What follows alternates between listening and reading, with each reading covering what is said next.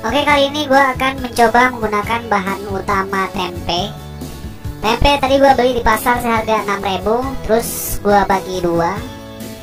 Lumayan untuk mancing dua season atau tiga season cukup ya bro. Selanjutnya gue menggunakan susu bubuk susu bubuk putih. Satu saset. Terus satu butir telur ayam next uh, esen daging dan selanjutnya gue menggunakan esen kepiting. Untuk pengeras gue menggunakan pengeras kiloan. Nah nanti kita kira-kira aja seberapa kita pakai. Yang penting jangan terlalu lembek aja. Nah langkah pertama kita akan potong-potong bagian tempe kita akan blender tempe ini sampai halus. Nah ini udah kita potong-potong. Lalu kita blender masukin blender dulu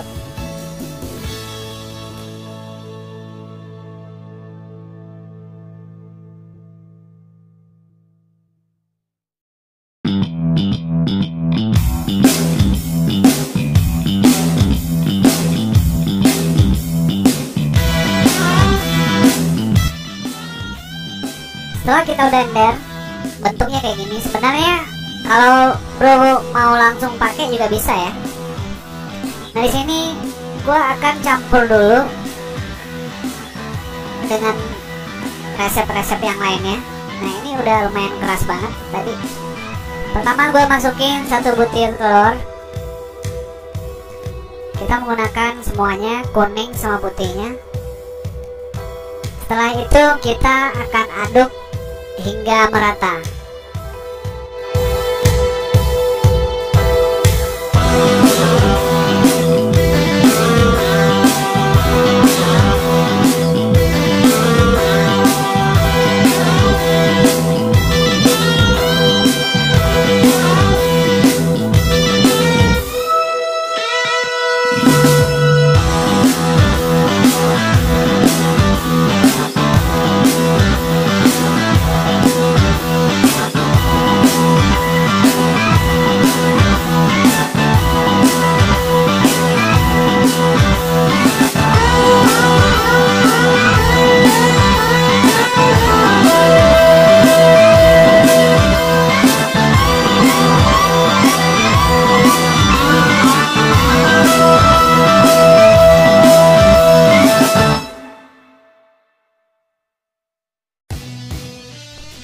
Nah setelah telur tercampur rata, gue akan masukin satu saset susu bubuk putih.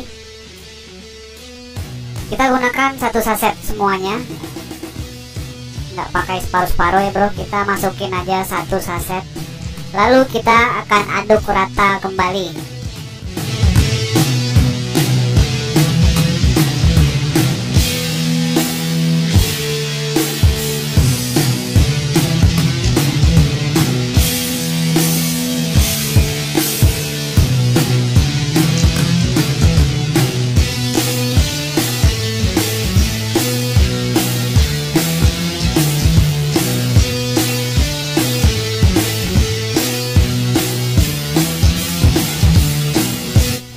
Oh ya bro, ikutin terus videonya sampai selesai.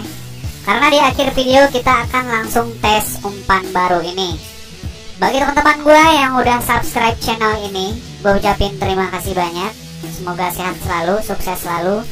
Dan bagi teman-teman gue yang baru datang di channel ini, atau yang suka channel ini, dibantu subscribe, like, komen, dan share ke media sosial kalian masing-masing ya. Oke langkah selanjutnya kita akan masukin esen daging sebanyak 17 tetes atau 15 tetes. Kita masukin. Gue menggunakan esen daging yang harganya cuma 7000 lalu kita akan aduk hingga merata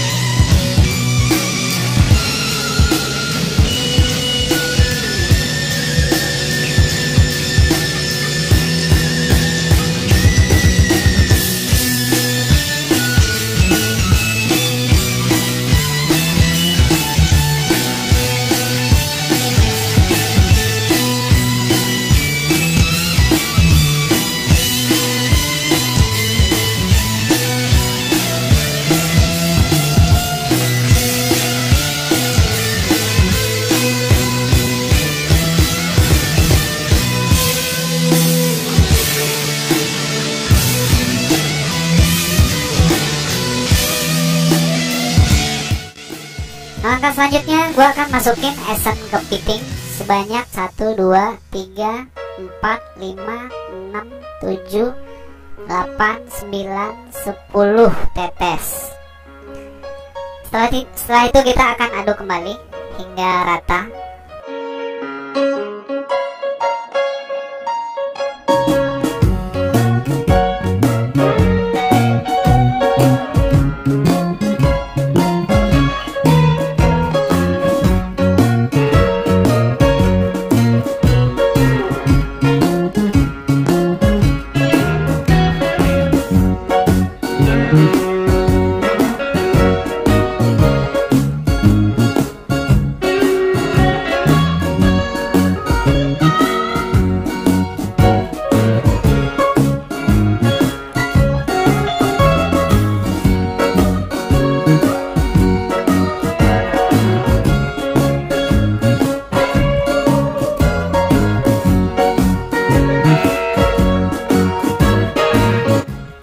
sekarang umpannya udah udah jadi.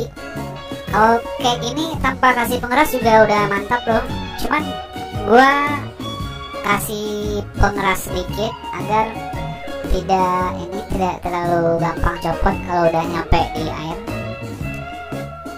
Kita akan masukin pengerasnya sedikit aja. Lalu kita akan aduk hingga rata kembali. Nah setelah ini kita umpan udah jadi, udah siap dites di empang ikutin terus videonya sampai akhir. Karena nanti kita akan langsung tes